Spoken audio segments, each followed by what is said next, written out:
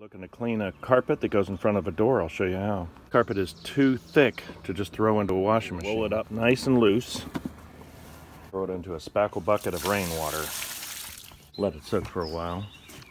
Once it's soaked, you can turn it around. Make sure you get all of it soaked. See, this water's already really dirty. Your hands, you can just scrub out all those stains. The water is really dirty, but the carpet is looking a lot better. Now we can add a little bit of dish detergent. Scrub everything down with a brush. Carpet's already looking like new. Final rinse, and we'll hang it up to dry. And over something like a porch rail to dry. See a lot of that water just dripping off. Once it's dry, you can put your clean carpet back into service. Nice, clean carpet.